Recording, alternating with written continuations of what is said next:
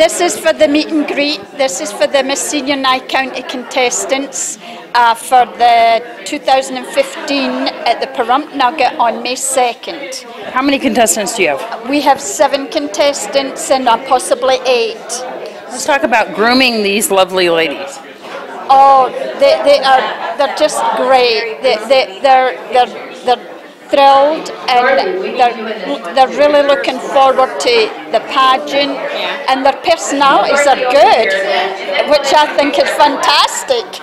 So uh, these ladies, uh, some of them haven't had prior experience. So how do you how do you deal with that?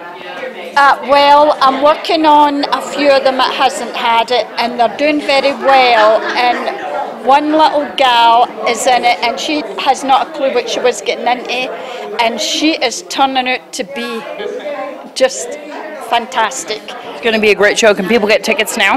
Yes, uh, any of the any of the the girls that like Terry Rogers and I uh, can get tickets, and there will be some tickets at the door, so we can get. It's fifteen dollars, and there's going to be a Queen's reception afterwards. Once again, the date and time again?